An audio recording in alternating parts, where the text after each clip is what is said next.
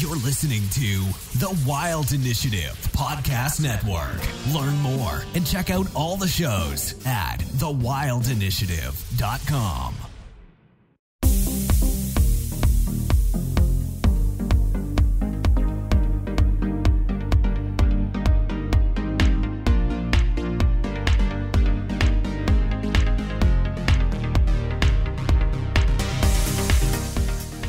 You're listening to the Fish Untamed podcast, where we talk all things fishing, conservation, and the outdoors. Today on the show, I'm talking with Nick Del Vecchio, fly fishing guide and owner of Wildwood Outfitters in Franklin, Pennsylvania.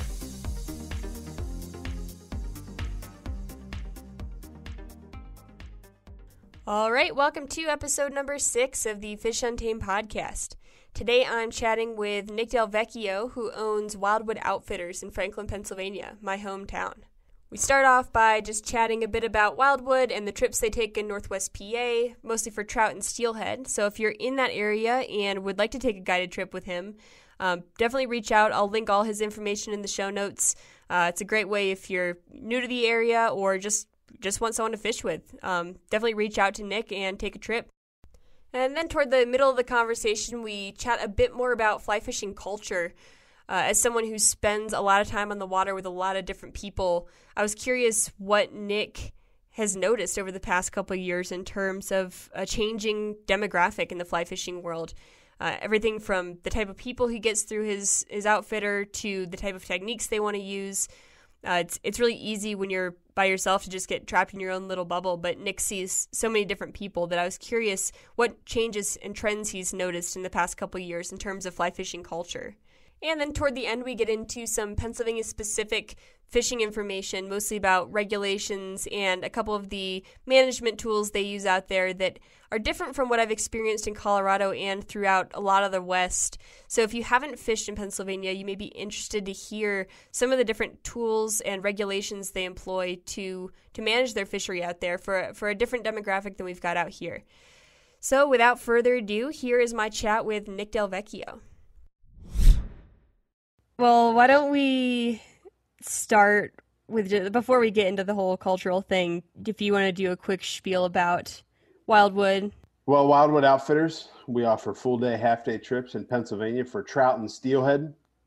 We'll go into the central part of the state, some of the spring creeks there, some of the freestone streams a little more north into the mountains after some native brook trout, our favorite fish to catch. And then when the time is right, we'll go to the Erie tributaries in Pennsylvania and Ohio and chase down steelhead. And our trips provide all the gear. We encourage anglers of all skill levels to come out. There's certainly something to be had on a day on the water for anglers of all skill levels, experienced, beginners, and everybody in between. What's your most popular fish to take people? Like I know you said brook trout are your favorite, but do you just uh, go based on what people say they want to catch, or are you like recommending to people like, "Let's go here. This is what you want to catch." Yeah, you know, a lot of it depends on time of year. Um, you know, if we're going to go on a trip in the first week of June, then obviously I'm going to encourage our guests to, hey, maybe we want to head to the central part of the state and hit the tail end of the sulfur hatches or maybe even the prime spot for the green drakes. Um, so some of that is dictated by time of year, but then also it's dictated by where people want to fish. Um, here outside of Franklin, where Wildwood Outfitters is located, we have a few brook trout streams, but not a ton. So if somebody books a trip and says, hey, that's what we want to go after, then we've probably got to travel a little more to the central part of the state. So each trip is different. And the beauty of Pennsylvania is each trip can be customized to fit exactly what our guests want on that particular day. And do you find that most people are looking for trout? Probably, yeah. I mean, that's it would probably be steelhead if they were in the streams long enough, but it's just such a fleeting opportunity we have to chase them. You know, there we're just right now we're waiting for the rains, waiting for the rains, waiting for the rains, and then all of a sudden the rains will come and then it'll freeze up. So it's just it's such a waiting game, such a weather dependent thing. They're fun to catch. They're probably the fish that people want to go after most, but we're just limited based on when they are actually here and able to be caught. Uh, do you get any? Do you do any warm water? I think I've probably asked you this before because I know that that's what I would want to do if I Yeah. came. But Um, not a ton. We've certainly got some great warm water opportunities around us. Um, but to be honest with you, it opens up a whole other can of worms trying to insure a boat and then everything that comes with it. So we just stick to trout and steelhead primarily, although there's some excellent warm water fishing opportunities around, as I'm sure you can attest to. Yeah. so just uh, in case anyone doesn't know, I grew up in the same town that Nick guides in, but we did not know each other from that. We just we've met virtually since then. And yeah. but I know what he's referencing. And yeah, I would be in the warm water back home, but I can appreciate the trout fishing and from what I've heard it's pretty good back there. Yeah, and you know, maybe if you go fishing with us whenever you do come home, then you could uh have some firsthand knowledge of that, but no, it's fine, you know. Yeah, I'm sorry. Busy times every time I come home. Yeah, I Plus, you. I gotta fill it up with all the warm water. Yep. so we're talking culture today. Um, I wanted to have Nick on because we've been kind of going back and forth for a long time, and I'm I know him well enough that I feel feel like we can talk about some of the more philosophical parts of fly fishing at this point. But we I mean we go back and forth all the time about know, if we see something we're annoyed by or see something we're intrigued by, you know, send the other person a, a text and see what they think of it. So we don't really have a path for this conversation to take apart, apart from just fly fishing culture these days. But I, I guess I wanted to start with as someone who owns a fly shop now, like now as in in today's age, have you noticed anything different than when you maybe started fly fishing in terms of trends or changes in culture? Well, you know, what's interesting is I started out as a guide in Colorado in 2011. So really not that not that long ago, but even in the short period of time between then and now, just the amount of information that's available to anglers on the internet is just unbelievable. I mean, now you can join Facebook groups and you can go on to this forum or that forum. So th- I think that one of the biggest changes is that the day and age of you walking into a fly shop, or in our case, since we have a virtual presence, someone calling or emailing to get a stream report to say, hey, how's the caddis hatch going? I think that that's lost a little bit. And in some ways, I mean, it's great to have all that information right on hand and, you know, made to order for folks. But I also think it's a little sad because who doesn't like going into a fly shop and BSing with the locals and you know, just kind of seeing what's up, seeing what fish are being caught, what's hatching. And it's just, those are good quality connections and conversations that I think we've lost a little bit. Um, and we hope to bring it back. You know, we're trying to be very approachable to folks that want to just call. And even if they aren't going on a trip, just say, hey, how's the fishing? You know, what a fun conversation to have. If that's the worst thing we've got going on that day is chatting with someone about how the local fisheries are doing, that's pretty cool. Yeah, and I think a lot of shops have realized that. I mean, it's it's definitely a positive that you know so many people have access to that stuff online. There's so many people getting into it, or at least interested in it. And I think a lot of shops are noticing that because I'm seeing less and less, um, or I guess fewer shops, you know, trying to entice people to come in to talk about like where to go and what to use, but they're doing things like, hey, come fish with us, like a fish for free day where we all just get together and you're not necessarily being guided. You're not paying for a guided trip, but you know, they'll close down the shop an hour early and everyone will go fish together. And that's, I think, I've noticed that that's kind of the new way they're getting people in the door because, you know, even their fishing reports are now online. So you don't even need to come come in to look at the board and you can you can buy those flies wherever. You look up the the hatch report online and you go buy it wherever you're you're shopping. Right. And well, you know, that's just it too. The online commerce aspect of the whole deal. You can get a dozen flies on a thousand different websites for 14 cents a piece. Or are you going to go into a fly shop and pay three bucks a piece for those flies? Now, you're getting, you could argue that you're getting other information by going into the shop, but in just a strict sense of dollars and cents, it's more and more popular for people to just do everything they can online and avoid any human interaction at all costs. I mean, heck, just look at the Amazon model. I can order anything I want and get it shipped to my house for free in two days. Who the heck doesn't want to do that? Right.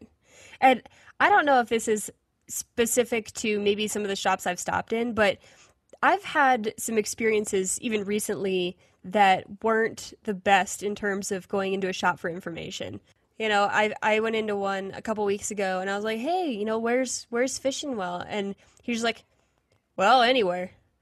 I was like, do you want me to buy something from you? because yeah. I'm not I'm not tempted to right now. Yeah, you know, it's like it's so weird that we have so much water to fish and so many fish are out there, but then we just keep these guarded secrets like we have nuclear launch codes or something like that. You know, it's you know that's part of the fun is sharing the information with others and then they come back in and then they say hey i went to the spot that you recommended or i threw the flies that you mentioned and i had a great day. You know what's better than helping someone else have the day of their summer? I mean you don't know how many days other people get to fish. That could be someone could call in and just have one day to fish for the entire summer and what am i going to do steer them in the wrong direction? For what? Right. I mean it's not like if if I show up and one of your guides is there, I'm obviously not going to go to that spot. You know, I feel like I I've gotten the impression from some of those interactions that it's almost like a we're trying to guard our secrets because we also guide. But I'm like, I'm also going to buy something from you. Like this is a mutual understanding here that I'm going to go find some stuff to buy from your shop, and in return, you can you know give me a couple pull offs. You know, I don't need your special hole, but you can tell me the same place you told the last three people. I don't care, but just like yeah. give me something to go off. Well, and I wonder to some degree how much that's driven by a lack of etiquette that you sometimes experience out on the water. And if that just happens to you over and over and over again, I don't know if maybe people just get burnt out and they say, you know what, the heck with it. I'm done giving up anything because every time I do, I'm getting high holed by randoms or who knows what. But I don't know if that plays into it or. I mean, I can see that, but I, I almost feel like at that point you probably shouldn't trying to be trying to run a fly shop you know? Yeah. like you're there to help people and, and, you know i don't i'm not trying to like bash any fly shops. Obviously you're an outfitter and everything but um i i feel like it has gotten more guarded and not just from people who are like i've got my i mean i'm i'm of course guilty of that but if i have a honey hole i'm probably not going to share it with the world. But if i owned a fly shop on a popular river i'm not going to hide you know pull-offs along that river. Everyone knows them. Right. Well and you know also, if you're a guide out there and you only have a couple spots, and if there are people in those spots you don't know what to do, then you probably need to reevaluate anyway because you should have dozens of spots that if the first 10 are filled with cars, well, that's okay. You can go catch fish somewhere else. That's the whole point of being a guide on a particular waterway is having that local expertise and knowing where to go, even when those conditions are tough. That's what people are there paying you for. Right. And I, I also think the motivation would be there to help people, not just because, you know, I'm going to buy something in your shop, but if that's the last thing keeping fly shops alive, which I, I kind of view that way because you can get everything online, is why do I like stopping in a fly shop when I go to a new town? Because, like, I, I want to talk to someone. I want to talk to someone who's fished there. I want to get a feel for the local scene. And that's what I value. And I'm not going to stop going to fly shops because I do appreciate that. But if I go in and feel brushed off, then I'm I'm like, well, I will just go to Amazon at that point, you know? Yeah. Right. There's nothing worse than whenever you walk into a fly shop and you're just milling around and everybody's just ignoring you. It's like, okay, well, you know, I don't have to be here. You know, I can I can just go figure it out or stumble around and maybe I'll figure it out, maybe I won't. But you know, on the other end of that, there's few things better than walking into a fly shop and then all of a sudden an hour has passed and you're just BSing with you know some guy or girl who's working in the shop and it's just the best thing ever. You're talking about fishing you're talking about where to go and then the conversation evolves to the waters. You fish back home and it's just it's a great quality conversation which is what you should have in an outfit or fly shop whenever you reach out for any reason. Yeah i think also with the variety of people that's kind of something we can also talk about is like when you think of a fly fisherman i feel like a lot of people especially those who don't fish if you ask them what a fly fisherman looks like, it's, you know, tweed wearing, pipe smoking, scotch drinking old man. And that still comes to mind. But I feel like for me, you know, I don't know anyone who really fits that description, honestly. Um, and so a different image comes to mind for me. And usually, at least where I am in Colorado, it's usually a, a bearded, flannel wearing guy, probably in his late 20s. But then you've also got the, the flat brim. You know, a lot of people make fun of that group, but you know that's that's also a major group in fly fishing. Uh, do you have a main demographic that you see come through your shop? I think fly fishing is just such a perfect encapsulation of America, right? I mean, it's just like a melting pot. I mean, like you said, you just have all those different types of people because we do see the old timers that have either lived here forever or maybe they're just passing through, visiting family, whatever, and they're definitely more old school. But then we have those new age hipster fly fishers that you know they just doing it for the gram you know? So it's just there and then there's everybody in between. And then you know you have families you have girls you know there's just it is a true melting pot. Like tomorrow i have a trip with a father and son, and the father probably fits the old school, you know, pipe smoking, tweed wearing, maybe not to that degree, but towards that direction. And then the young guy's like, "Well, I'm going to wet wade," and I said, "Well, it's going to be 55 degrees tomorrow." And he said, "Oh, I don't care." It's like, I'm gonna do it. I mean, just, yep, I'm going to do it. So you know, it's just there are just all mixes and all types in fly fishing, and I think that's part of what makes it so fun is you never know who you're going to run into that day and whether that's guiding whether that's fishing on your own if you're the type that wants to chat up other anglers out on the water some think that's maybe a little taboo but um, you know i mean you'll just find a little mix of everything out there And why do you think that's taboo? Because I agree that it's. I feel like I used to be able to walk up to someone and say, you know, what are they biting on? And I'd get an answer. And now I'm like, I don't want to ask someone what's working, even though it's, I mean, for the most part, if I walk past someone to a completely different spot after them, like knowing what fly they're using is not going to like rid the water of fish for them. But it's Yeah. still a little bit taboo to ask what people are using. Yeah, and I'm you know I'm guilty of this because I'll tell you, if I'm on the stream and especially if I'm on a guide trip and I see someone walking by with a stringer and they say, "How's it going?" You aren't getting one peep of information out of me. Oh, what am I going to do? Tell you where all the fish are so you can go down and catch them and bring them home and throw them in your freezer? And then what do I do with tomorrow's guide trip? You know, I mean, in my case, those fish are my business partners. I have a vested interest in them hanging around as long as possible. So I will say, in those instances, I'm pretty tight lipped, but otherwise, um, I love talking to other people on the stream, and there's nothing better than whenever the person you're trying to talk to, you can tell is trying to be tight lipped, and you just kill them with niceness. Just, hey, you know, how's it going? Fine. Oh, well, how's it, you know, we're out here fishing. What a day. You know, it's just, you can spin it in a way that you almost just force them to be nice to you, and that's the best thing. Well, I think that might also be a divide, at the, and you and I have talked about this before. And I'm obviously not, I'm not a diehard catch and release or a diehard catch and keep angler. But if I were out on the river every day trying to catch fish, I would not want to tell someone who I know is going to be out there every day taking fish out of the river. Um, even though I keep fish sometimes, obviously I'm not there trying to make a living off it. Um, but that's that's a big divide, and I feel like, but I feel like that that's not that's not um, only what would cause someone to not want to share information. Because I'd say, you know, 90% of the people I encounter on the water are not keeping any fish, but they're still very protective of the fact that there are fish in that river, you know, as though someone else catching one is going to, you know, obliterate the stock for them.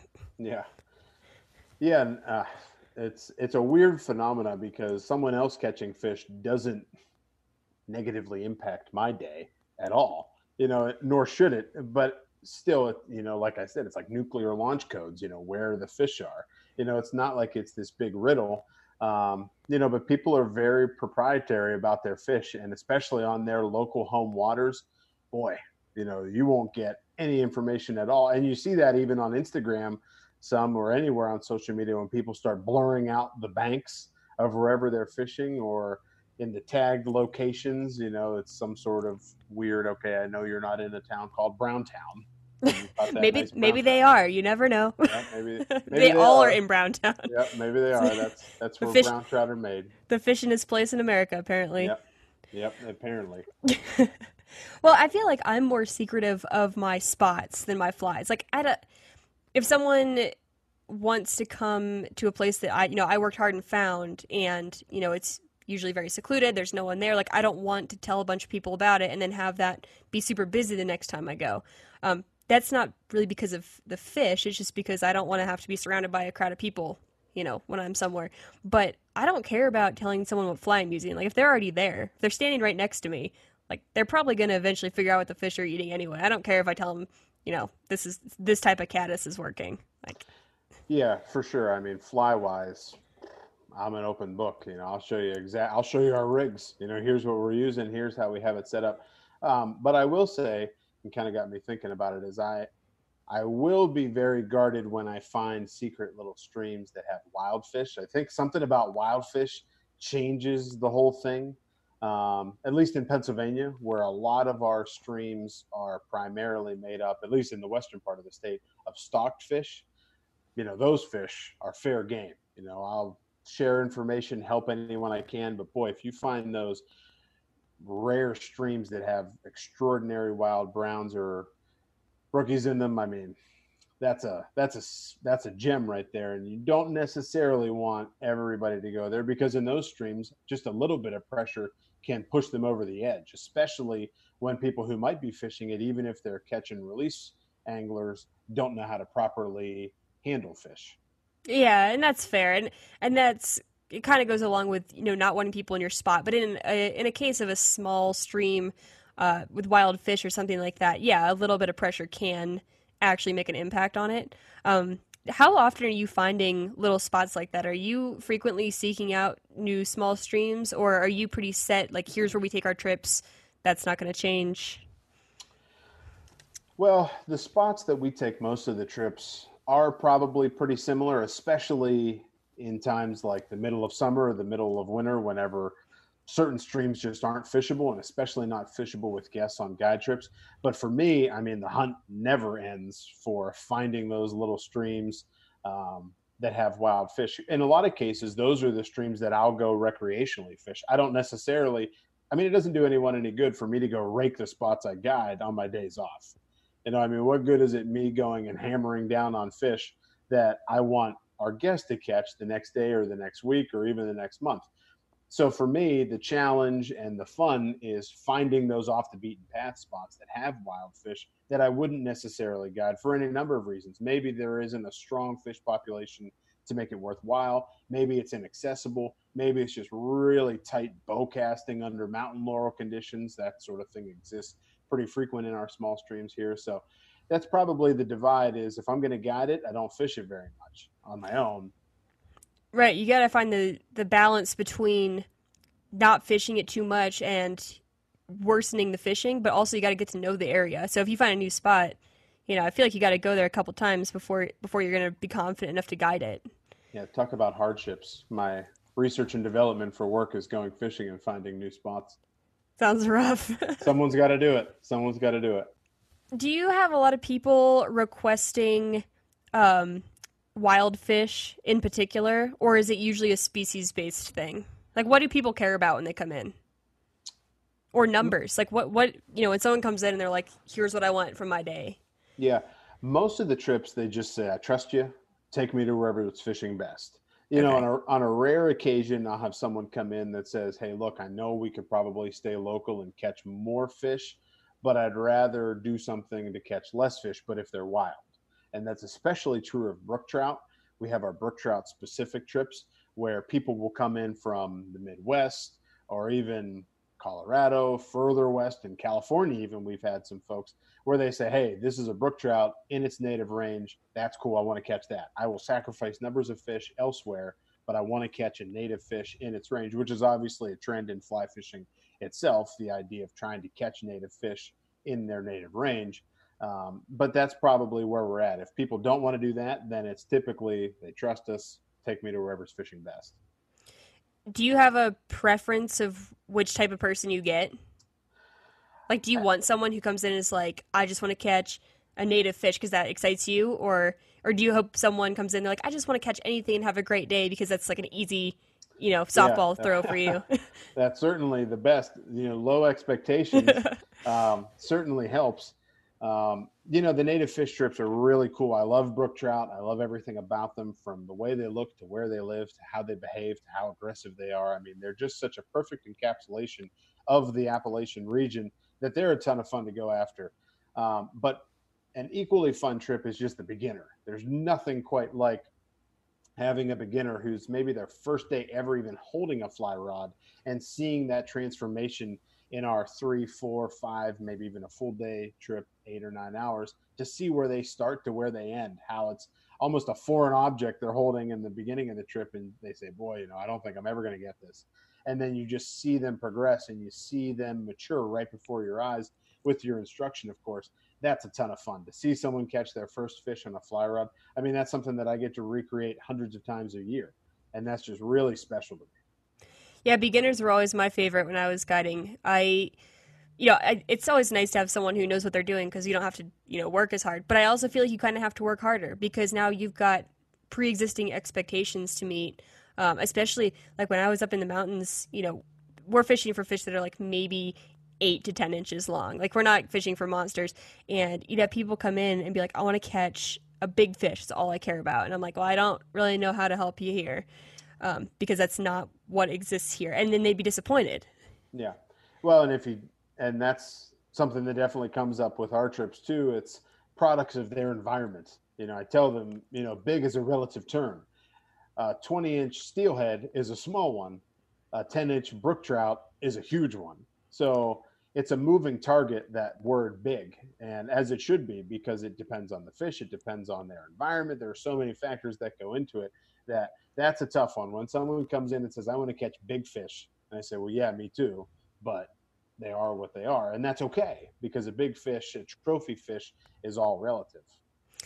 Yeah, that kind of goes back to the culture stuff we were talking about. Where have you heard the the like progression of fly fishing that they talk about? They have one for it seems like everything. They've got one for hunting and everything. Where it's like you know when you're in stage one, you just want to catch a fish. Like that's all that matters. And I feel like that's a really wholesome level to see someone else in. It's like when you take a beginner fishing and they're just astonished that they landed, you know, an eight inch rainbow. And to you, it wouldn't mean much, but to them, it means everything. But then they progress into the next stage where it's like, now I want to catch all the fish. And they want to catch like all the hugest fish. Yeah. and then, and then by the end, it's like they just want to go fishing. And I feel like I really like tiers, you know, one and like usually four or five, where I like it when someone gets excited about their very first fish or just catching a fish. And I like it when someone just has a good time being out there. I tend not to enjoy spending as much time with the people who are stuck in I need to catch as many fish as possible or I need to catch the biggest fish possible and I'll go to any lengths to do that. As much as I can appreciate the effort that goes into that. I don't know, it's just not my it's not my style. Yeah, I love whenever we get to the point in a trip where someone is content. That's yeah. the, that's the word that I love most on trips because when someone is just blissfully content with our day, there it, to me there is no greater compliment to a guide of any sort, hunting guide, rafting guide, fishing guide, whatever the case may be, whenever your guests are content. You know, I think you've just done your job so well and they can appreciate what you've done so much that that's just that's the sweet spot. And those phases that you mentioned, it's interesting because I'm kind of going through that uh, myself a little bit and to cross over into hunting. I'm a relatively new archery hunter. So I'm kind of going through those phases in archery hunting that I would have gone through years ago in fly fishing. And it's, it's neat to be on the other end of that for the first time in a while um, and kind of see through that scope again. And I I don't want to sound like I'm talking down on on those areas where you're kind of stuck in. I want to just you know go all out and you know catch all the fish because like you said you know, i'm kind of in that phase with with hunting as well where i i've had enough success to be past that hurdle but i'm not so successful in my past that i can just be happy being out there like i am very aware of whether i've been doing well or not at any given time and i feel like in fishing i've progressed past that but uh, it's it's still fun to sometimes jump back into that mode where if you're in a place that has huge fish, like you can kind of get yourself back into that mindset for a sec and be like, I want to, I want to catch a monster today. Yeah, for sure. And, uh, you know, for us in Pennsylvania, that comes up with steelhead. I mean, whenever you see those fish in there and they're huge, you don't, you aren't just happy to be there. you know, I mean, it's right. not like, boy, this is just a really fun December day in Pennsylvania you know, it's not that. It's let's hammer down and catch some fish. And that I that's I'm guilty of that when I go on my own there. Whereas trout, I can be happy just going out. Or maybe if I catch one in a really difficult spot and I had to work for it and I had to make a difficult cast and landing it was a challenge. Those are the fish that really gets me going for trout. Um, but for steelhead, I kind of slip back into that. Let's see how much damage we can do, um, just because they're so big.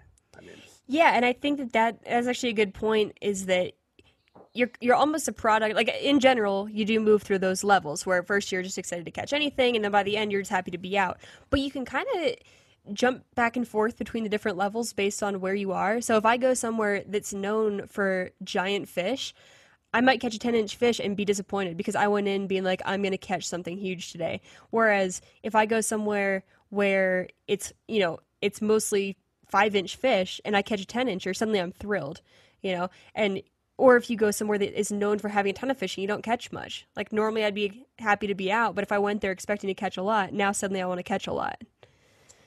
Yeah, no doubt. And I'll tell you where that really just messes with your whole system is a new adventure I'm trying to get into of musky fishing. That is just it's like, oh well I might as well be happy to be out because if I'm You better. yeah, if I'm predicating my days based on how many fish I even encounter, boy, I don't know. That wouldn't be that wouldn't be the sport for everybody. So that's kind of to your point. It's interesting how that target can change just based on what we're going for, whether it's trout, steelhead, muskie, bass, you know, depending on the fish species. For example, like whenever you come home, maybe you're just happy to be out on your home waters again and or maybe you say, "Hey, look, I have one day to fish this, you know, river that I loved growing up, so I want to see how many bass I can catch." Yeah, and I'm a big sucker for the nostalgia piece of coming home because I think I mentioned it, but when I came home, like I was just spin fishing. I didn't have any room to bring back my fly gear. And as I was doing it, I was kind of glad that I was using the spin gear because it's like if I'm going to go back and, you know, relive the good old days, I might as well do it the way I, you know, had it. And it's like I don't really have much of a desire to do any spin fishing out here because I've never done it out here. I've only fly fished. And so even if I'm fishing for bass, I'm going to do it on a fly rod. But when I go home, it's kind of nice to just I don't know, settle back into into the the muscle memory of how I grew up. Isn't that part of the joy of fishing is that it can be as simple as we want it, right? You know, I mean, right. Some days I get sick of having uh, these elaborate rigs with tippet rings and tapering down to 6x leader and you know, it's just the rigs get so complicated that some days I like saying, you know what, I'm just going to snip it all off and throw a size 16 Adams and whatever happens happens and it's just kind of nice to sort of hit reset and go back to neutral and recharge the batteries. I was just talking about that to someone the other day because I feel like I go back and forth between, you know, I want to learn all the hatches and I want to know all the flies that match all the insects and I want to be able to look under a rock and know exactly where to go in my box and get just the right thing. And then sometimes I just want to make it work with whatever I feel like fishing that day. Yeah. And I will I will fish that fly until it works and I kind of lean toward that more often. Like I like having the knowledge, but I almost like having the knowledge separate from fishing. Like I find it interesting to learn about the life cycles of the insects, but then when I go fishing, I want to just relax and not even bother with all the knowledge and just like throw on a caddis and see if it works. Yeah, that's. I'd never thought of it like that, but that's pretty. I like the knowledge of it, like you, but it's like, well, I don't need to know all of the entomology behind it in order to have a good day because this prince nymph will probably catch just as many as my exact midge pattern. Yeah, like it's fun to have the knowledge, but I almost I almost like compartmentalize it where fishing is fishing, and I want to have the knowledge that relates to fishing because we obviously find fish and gear and all that kind of stuff interesting, but it's kind of the same reason I'm not a huge like gear junkie. Like I've got what works, and I don't really care about the latest and greatest thing because odds are it works only slightly better than last year's model. Well, I think you mentioned a phrase that we need to everybody needs to remember sometime. It's fishing. You know, I mean, we, it almost feels like we want to make it so complicated at times, and it's this giant equation that everybody's trying to figure out. But you can just grab a handful of flies and then whatever rod you have handy and go catch some fish. I mean, it can be that simple some days. Some days it's fun trying to figure stuff out, especially on technical waters, tail waters in particular. That can be fun. You know, the yeah. challenge of it is fun, but it's also nice to just say, hey, it's fishing, so I'm just going to go throw whatever and probably catch some, and that's fine. I was going to ask if that's a fly fishing specific thing, but I don't think it is. Because, I mean, I feel like you know, competitive bass anglers are probably some of the most knowledgeable fishermen of their quarry out there. You know, they can pinpoint what they're supposed to be doing, you know, dead on. But I feel like there's I feel like you know, in general, there's kind of that uppity nature that's associated with fly fishing. And sometimes I get that feeling from the whole like I need to know the exact pattern. And maybe that also comes with tying because I'm sure if once you start tying, you start to learn you know what makes each pattern its own thing but I feel like there's a lot of people that aren't they don't want to admit that they just want to be out there and it you know it doesn't really matter that they know exactly what fly they're using or the name of the fly. Well, there's nothing I love talking about more than fly tying. Um, but... I'm, not, I'm not trying to get into fly tying. Nick DelVecchio, noted fly tire. Um, the one topic we're not supposed to yep, talk about. Mm. but you know, and I'll tell you, most of the flies that we fish are what you'd call quote unquote junk.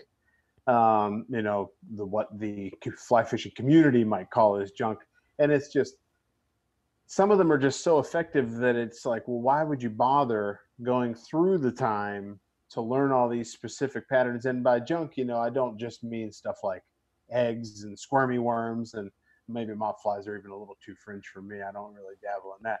But you know, I mean, if you just throw a straight up attractor patterns, if I'm throwing hare's ears, pheasant tails, princes, just stuff that isn't really anything in particular, but it kind of looks like enough stuff to work.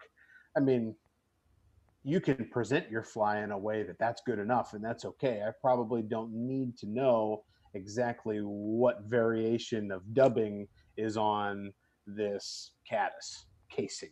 Right.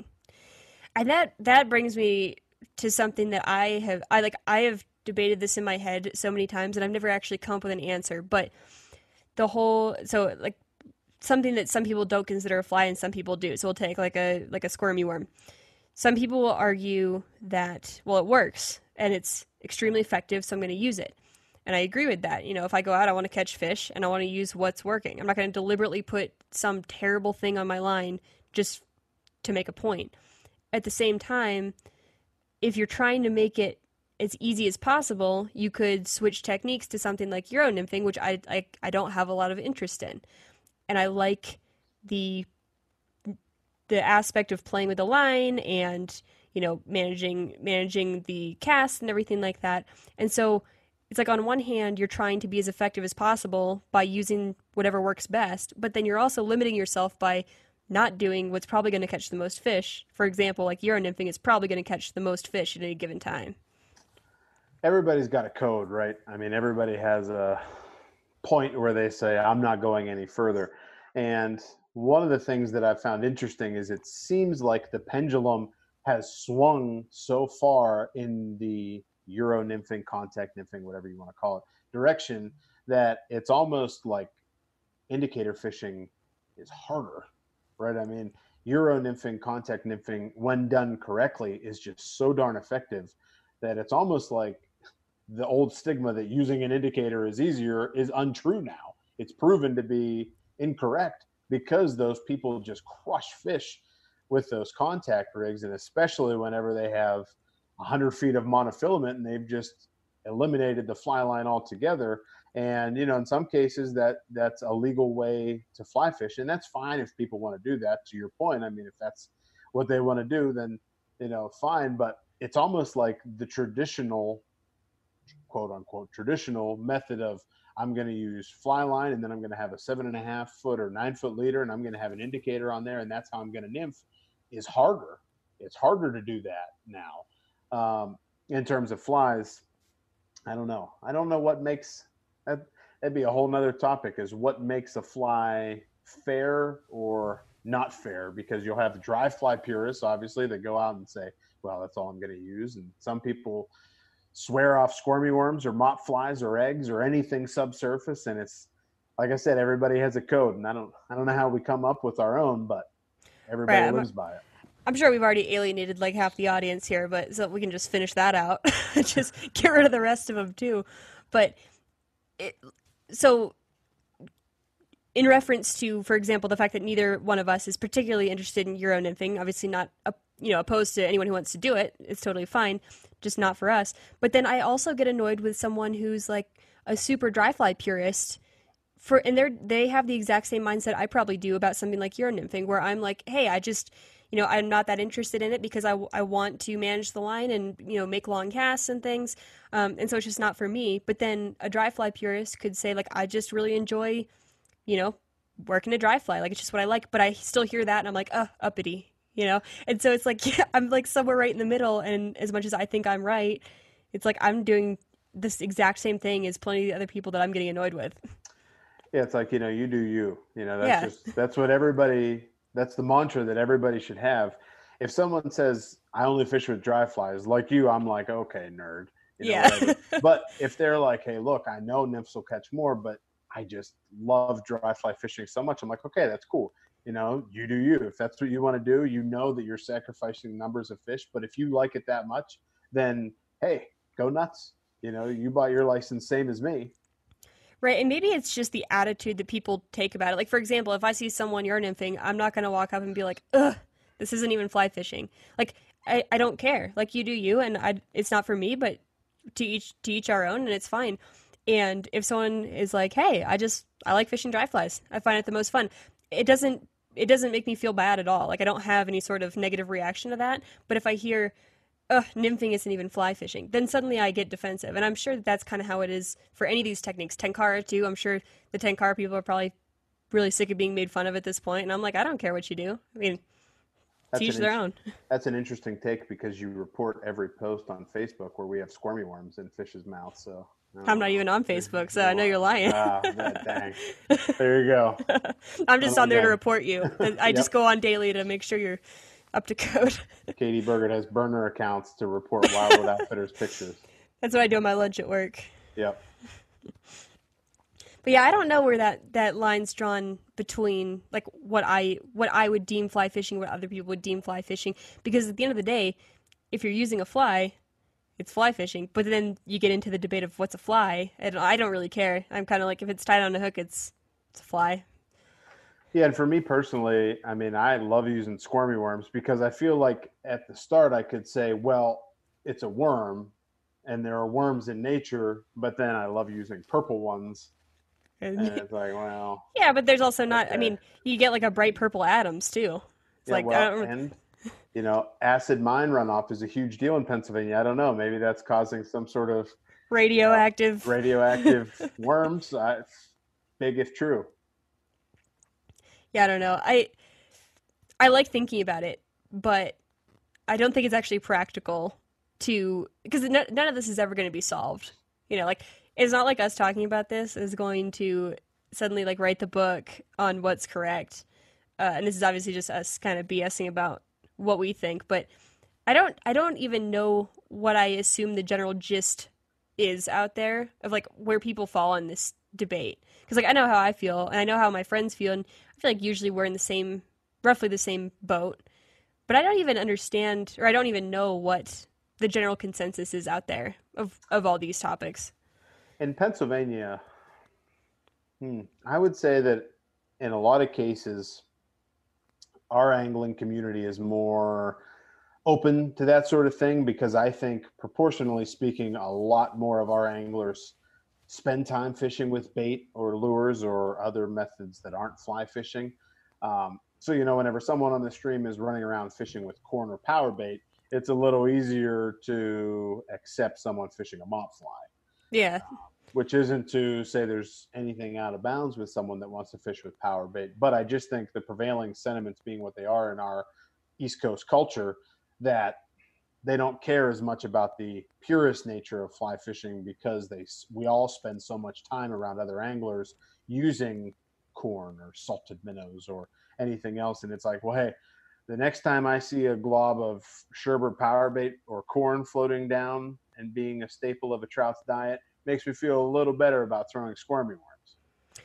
Yeah, I think you're right about that. I think I get the impression that out east the mentality is a little bit different, and I don't know because I don't know, you know, how the demographics are skewed in terms of where in the country has the highest concentration of fly fishermen.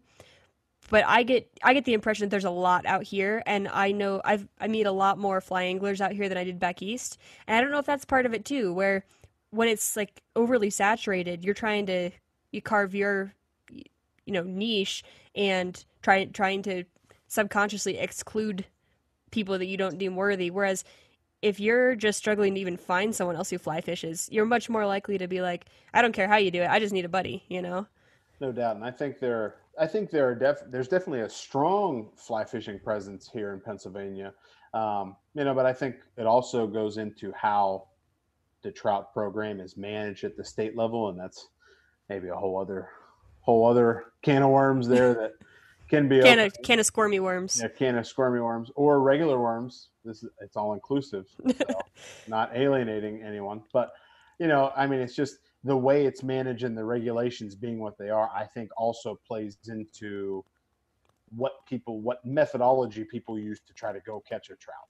Um, whereas I think in Colorado, it's a lot more geared towards conservation and the protection of trout. Where here in Pennsylvania, you see stocking trucks going by all spring and summer that's a a bucket of fun, you know, or whatever the phrase is, fishing is fun, one bucket at a time.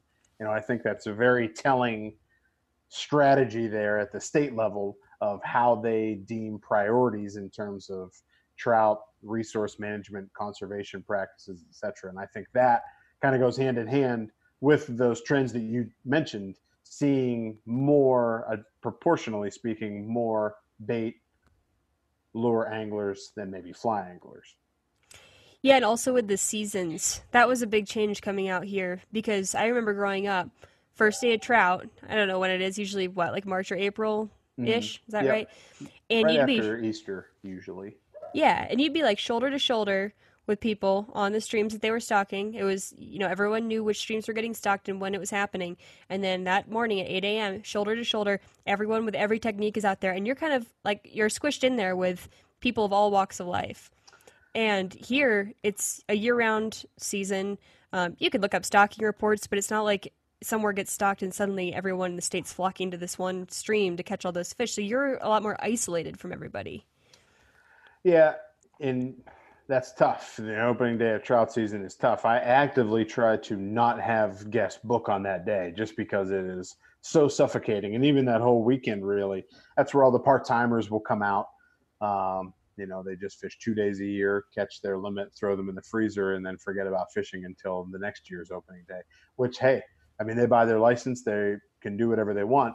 Um, but it is tough. It is tough not having that all year round. Luckily, certain streams in Pennsylvania are open year round to fishing, uh, and most of those streams hold wild fish. Any f- stream that has what they call a Class A designation is actually open to fishing year round, which is really cool. As are specially regulated areas, fly fishing only, delayed harvest, catch and release, all of those um, types of streams are also open year round to fishing. So it's nice to have those options, but like you said, for the most part, a lot of our stock streams are shut down from March 1st until opening day. Now, this might be a dumb question, especially from someone who grew up there, but I didn't I didn't do much trout fishing at home before I moved out. If if it's closed, if it's a closed season, but it's a is it a closed season on just streams that are designated trout waters? Because you can catch trout. I mean, like growing up near French Creek, there were trout in there, but it's not like it's closed. You know, you could catch one by accident. Yeah, so it's a specific type of waterway that they're dealing with there, the one that they call the approved trout water. And the state of Pennsylvania makes it really nice and really easy. They have an interactive map application on their website where you can go on and see all of the highlighted streams of any particular designation. Um, so there should be no question they have it in the summary book as well that they hand out with your license, but it's really convenient to be able to go on their map resources and say, I want to fish stream X. Can I? Is it legal? Mm-hmm. Do you know why trout fishing is so separated from other types of fishing in Pennsylvania? Because not only just the season, but like you have to get a trout stamp. And that's not the same out here. And I haven't found a single Western state that does something similar to that. Why is trout so isolated? I don't have any idea, and that's a good question. I would actually be very curious to know what the answer is from someone at the state level, um, because that is a unique permit to Pennsylvania. I also have not found that to be the case in many other places. And now, recently, we also have to purchase a Lake Erie permit as well if we want to fish the tributaries to Lake Erie for steelhead or the trout that they stock in there. So there does seem to be a few more permits that are required here compared to some other places. I don't know why. That'd be interesting to know. And is the Lake Erie one just anything that flows directly into Lake Erie? When does it stop becoming a tributary to Lake Erie? It's got to be a water that goes into Lake Erie. So the tributaries, they flow directly in, or the tributaries to the tributaries, or the lake itself. So basically, anything in the Lake Erie watershed in Pennsylvania. And, you know, we don't have very much coastline, so it's not like this giant swath of land. Um, but anything that's going to eventually flow into Lake Erie you need the permit. And they combo it now with the trout and salmon, so you can save a couple bucks or whatever it turns out to be to just get a Lake Erie trout and salmon. But it's there's all sorts of regulations governing it, and that's relatively new, just a few years. I've heard a couple states. I don't know. Actually, I don't even know if it's a couple states. I've heard at least one state. I'm not even sure which one it was. Is considering doing like a voluntary stamp for different species now to raise money for specifically for conservation of that species. So you could go buy, you know, you could you could buy a regular fishing license and go fish for whatever, but you can also voluntarily add on, you know, however much it costs walleye stamp. And it's just if if you acknowledge that you're going to be mostly fishing for walleye and you want you know some extra money to go toward that specific species, you can buy like a voluntary stamp that would be the equivalent of the, the trout stamp in Pennsylvania, but it, it's entirely voluntary instead of mandatory. And actually, Pennsylvania just instituted a few of those last year. Maybe uh, that's the state I'm thinking of then. Yeah, well, because the few that I know of, one is for muskie habitat, so you can get a voluntary muskie permit. Um, I'd like to get one, but I'd like to catch one first, so maybe maybe one day. Um, and then you can get a wild trout voluntary permit. Um, but for a lot of anglers, they're kind of in wait and see mode to see where those dollars go and to make sure they actually go towards the cause that they're earmarked for. Since it is so new, that's a new program just rolled out last year, um, the voluntary permit. So it'll be interesting to see what happens with that in the future, and if in fact those dollars and cents do go to those causes, and you can see a tangible impact for the better then maybe those voluntary stamps will become more popular across the country. Yeah, I'd be pretty enticed to do something like that if I could see, hey, this year we raised, you know, $100,000. I don't even know if that's a reasonable guess, but like $100,000. And here are the five muskie projects that this money's going toward. Here's the problem. Here's where the money's going and what's being fixed and what we expect to come out of that. Is it a set cost or is it like you can donate any amount of money and get this stamp? They are a set cost. I don't know what they are offhand. I don't think much 25, 30 bucks, something like that. Um, I'm sure they wouldn't take your money if you wanted to donate more. Well, yeah, it's I don't know how I feel about that. I'm I kind of see why they just want to set amount like, hey, do you want to buy this thing or not? On the other hand, I kind of feel like they should say, hey, anyone who wants to donate anything, we can give you this little, you know, unofficial, you know, stamp on your license that just says, hey, I donated to you know, muskie habitat or walleye habitat or what have you, instead of saying like you have to donate 30 bucks or bust. Yeah, and in some cases, at that point, wouldn't you just donate to a conservation group directly tied with those fish? Mon- Muskies Inc., Trout Unlimited. I mean, there are enough conservation groups for every trout and salmon and muskie and every other fish species out there that if you really cared about a cause, you could just go directly through a conservation group and just skip the middleman of the state agencies altogether. That's true. I mean, um, you could always buy the buy the stamp and then donate more, or if you wanted to give less, just give directly to some sort of organization. Is there an yeah. organization for pretty much every species out there at this point? It seems like it. I don't know. I'm sure there's one for bass, but I don't know of one offhand. You're the warm water specialist. You probably I know, I sh- will know. I should know. I, there's a walleyes unlimited. Yeah, right. So there, I mean, there. I'm sure there is one for bass. So it seems. I'm sure there's like, several for bass, probably. Yeah. So it kind of seems like every species is represented somewhere with some group. So it's nice to have that sort of conservation backbone for all the fish species in Pennsylvania, knowing that there's someone looking out for their betterment and habitat improvement and strategic planning for the future and every other obstacle that might come up that knowing those fish are safeguarded is pretty important. Yeah, for sure. I would I would consider doing something like that if it came to Colorado. We you know, on one hand it's nice we've just got the single license, like hassle free. It's always a pain coming home and having to navigate like what exactly do I need? Like I remember last time I came home, I was trying to decide between a one day license and a three day license, and they cost the same amount. Yeah. And I was like, well, I'm obviously going to buy a three day license, but yeah, right. like there's just so many different options on the menu when I come home, and out here it's you know, we do have like a five day option and stuff like that, but it's pretty just you buy your license and you can go fishing. But I would consider I would consider getting some of those extra stamps if that were an option to to put money toward those species. And it's neat, like you said, if you got uh, extra sticker on your license or some sort of identification that you supported that cause, that's a neat, you know, identifier that you are into the conservation aspect of things and into the betterment of the fish species and that's a little more incentive i think for anglers to want to get involved with that stuff yeah i wonder if a state took like a uh, like a patch or a pin approach. I mean i know pennsylvania has like patches for their for their species but i think they just do like a patch each year and they just pick a mm. fish to put on it. But like i don't know what if they had some sort of collectible you get a you get an actual like stamp like a you know like a duck stamp how that's collectible. You know you get some sort of collectible pin or patch or stamp if you donate to that cause so you could you know cover yourself in musky patches. Yeah. Well they used to back in my day your tweed wearing pipe yep, smoking. yep.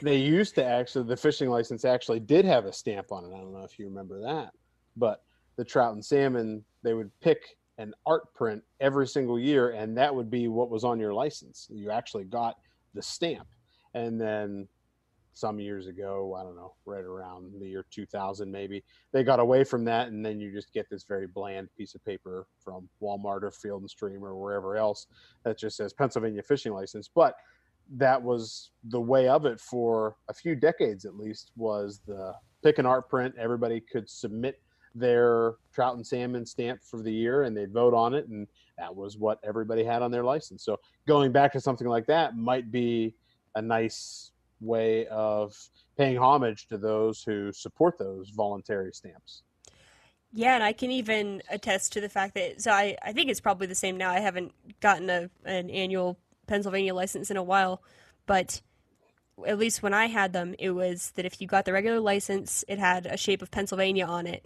If you got the trout stamp, you'd get a picture of a trout on it. And I even remember, I mean, not that anyone was caring, but in my head, I was like, I want people to see that I've got a trout on mine. You know, mm, like yeah. I didn't even really fish for trout much, but I wanted to have a picture of a fish on my license, not a picture of Pennsylvania. So I would pay that like nine bucks even if I was only going out for like half a day. it's kind of like trout. a badge of honor almost. Yeah, like I'm getting the license plus the extra. Yeah. You know. So I think if that is enough to motivate me to get a, a, an outline of a fish on my license instead of an outline of my state, then having like an actual piece of art to display what you're fishing for. I mean, I think people would go for that. Yeah, I think so too. Well, I think that's a good place to wrap up because we we've jumped around from culture to all the people we hate to Pennsylvania fishing regulations. yeah, but, could probably go on about any one of those topics for a whole other show. I know if there's any other groups that we haven't uh, alienated, we can think of some others and then come on and yeah, you know, maybe someone will let us know. yeah. Um, but why don't you plug yourself? You know, your social media, your website, outfitter, anything you want people to know. Yeah, anyone looking for Wildwood Outfitters can find us on our website, wildwoodoutfitterspa.com, or Instagram at Wildwood Outfitters, or Facebook at Wildwood Outfitters PA. We run lots of blog posts every week, blast them out on all our social medias. Latest catches, latest trip reports, you name it, we've got it on the website. So give us a look. And anytime anyone's in Pennsylvania, we'd love to spend the day with you out on the water. Yeah, and remember that if you're on your uh, Facebook page, you will see lots of downvotes from all my burner accounts on there just yep. in case you're looking for a nice a nice laugh and want to yep. participate in the hate. Some people are worried about election meddling and whatnot. Nope. People are worried about me throwing squirmy worms on my guide trip. So yeah, I've, I've been I've been tampering with your uh, with your yep. fly promotions. Noted. All right. Well, thanks a lot, Nick, for coming on. Uh, I really appreciate it, and hope you have a good steelhead season coming up. Yeah, thanks a lot for having me. All right, and that's a wrap on episode number six. As always, if you liked what you heard, go ahead and head over to the Wild Initiative podcast and you can subscribe there. You'll get my show every Thursday, as well as all of Sam's other shows that come out throughout the week. You can also find my episodes on the website, fishuntamed.com, in addition to weekly backcountry fly fishing articles.